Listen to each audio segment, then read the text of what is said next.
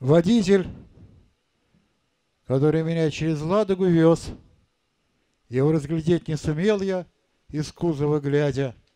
Он был неприметен, как сотни других в Ленинграде, ушанка-даватник, что намертво к телу прирос.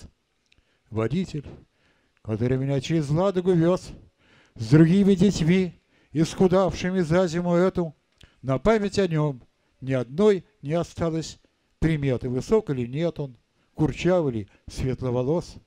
Связать не могу я обрывки из тех кинолент, что в память вместило мое восьмилетнее сердце. Лишенный тепла, на ветру задубевший брезент, трехтонки поношенный, настежь открытая дверца. Глухими ударами била в колеса вода, гребли разрывы, калеча усталые уши, вращая баранку, упрямо он правил туда, где старая церковь белела на краешке суши.